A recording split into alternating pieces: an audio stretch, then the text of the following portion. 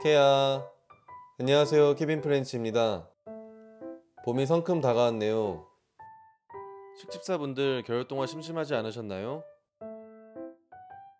저는 동면하는 식충식물을 많이 키우다 보니 더 심심하고 지루하더라고요 그래서 이번 겨울에는 심심할 새 없이 사라세니아, 끈끈이 주걱, 피그미 등 많은 아이들을 파종해주며 시간을 보냈습니다 얼마 전 수입한 사라세니아 씨앗이 도착해서 파종하는 모습을 영상에 담아봤습니다.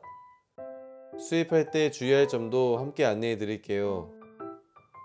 사라세니아는 다른 식충식물보다 조금 생소하실 수 있는데 무늬와 색감이 정말 매력적인 식충식물입니다. 우리나라에서 쉽게 볼 수 있는 사라세니아로는 푸프레아 혹은 퍼포레아가 있어요. 이 아이들은 꿀샘으로 벌레를 유인하고 벌레가 미끄러지면 포충낭 속의 역모로 벌레가 도망가지 못하게 가둔 뒤 포충낭 속에서 분비되는 소화효소로 벌레를 녹여 영양분을 흡수합니다.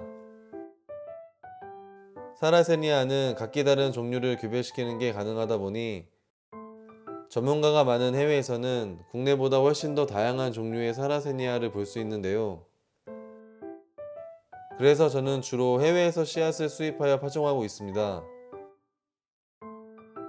이번에 제가 수입한 씨앗은 프랑스 재배가가 교배한 아이들입니다. 검역이 완료된 후 배송받은 씨앗 봉투입니다.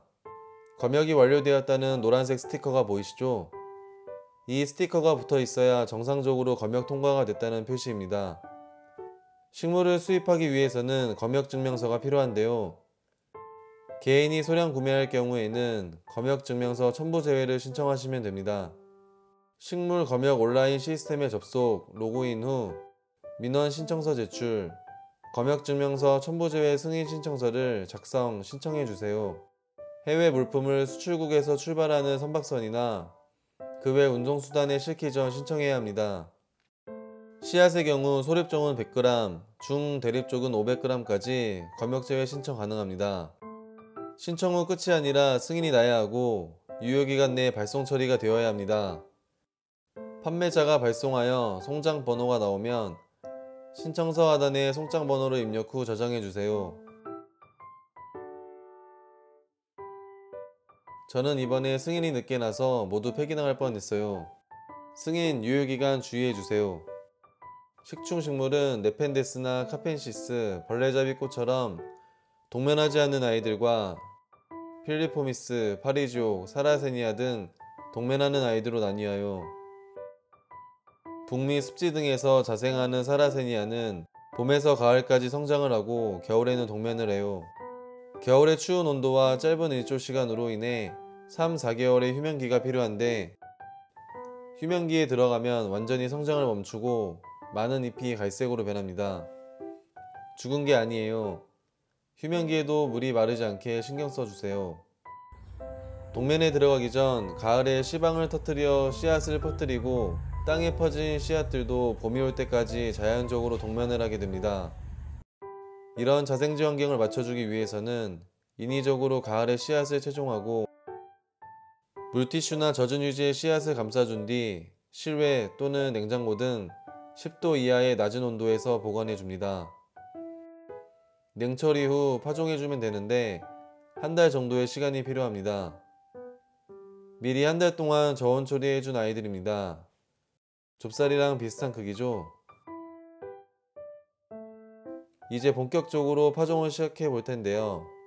저는 피트모스와 펄라이트를 6대4 비율로 섞어 사용하고 있습니다.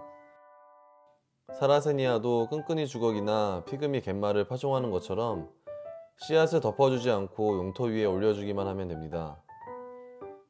지금 여기 한 줄은 미리 파종해 놓은 상태입니다. 보통 위에서 흩날리게 뿌려주시는 분들이 많은데 저는 핀셋으로 한립 한립 파종을 해주고 있습니다. 양이 많으면 상당히 귀찮습니다. 펄라이트 때문에 줄 세우기가 불편하네요. 나머지 화분들은 위에 피트모스를 올려준 뒤 파종해 보겠습니다. 피트머스는 상토와 다르게 물이 너무 바짝 마르면 물을 잘 흡수하지 못해요. 그래서 분무기나 물조리기로 충분히 물을 흡수시켜 놓은 상태에서 파종을 해줘야 나중에 씨앗이 발아하는 데 문제가 없습니다. 사라세니아는 성장하는 속도가 일반 관엽식물에 비해 상당히 느려서 보통 씨앗을 파종하고 꽃을 피우는 성체로 키우려면 최소 3년을 키워야 합니다. 사라세니아는 상시저면 또는 윗물을 줘야 하는 특성 때문에 이끼가 생기기 매우 쉽습니다. 화분 표면에 이끼가 많이 끼면 아이들이 잘 자라지 못해요.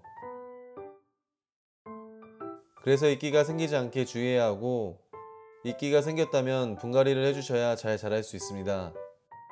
그렇기 때문에 처음에 줄 세워 예쁘게 파종해주면 나중에 분갈이 할 때 매우 편리해요. 저는 요즘에 파종하느라 거북이가 되고 있지만 이렇게 하는 게 좋더라고요. 서로 다른 종류이기 때문에 씨앗이 섞이지 않게 주의하고 이름표는 잊지 말고 꼭 만들어 주세요.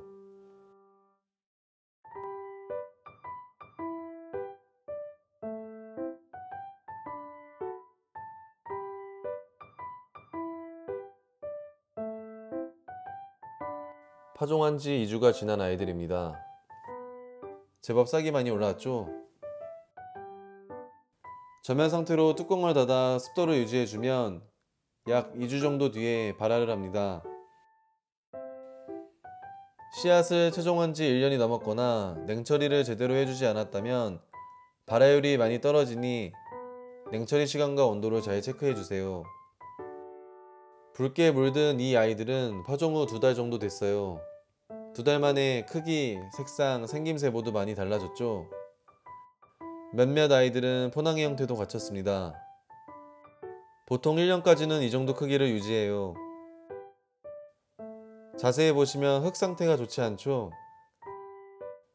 파종 시기를 놓쳐서 줄 세어 파종하지 못하고 대충 뿌려준 아이들인데 4월 정도에 새로운 화분으로 옮겨줘야 할 것 같아요. 이끼와 녹조가 많이 낀 흙에서는 유묘가 자라는데 방해를 받으니 흙 상태 꼭 체크해 주세요.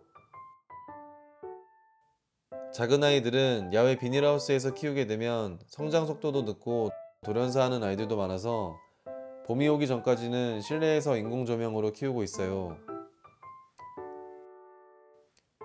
아이들 커가는 모습 영상에 많이 담아 보겠습니다. 오늘은 사라세니아 파종하는 방법과 시기에 대해서 설명해 드렸는데요. 마지막으로 정리해 보겠습니다.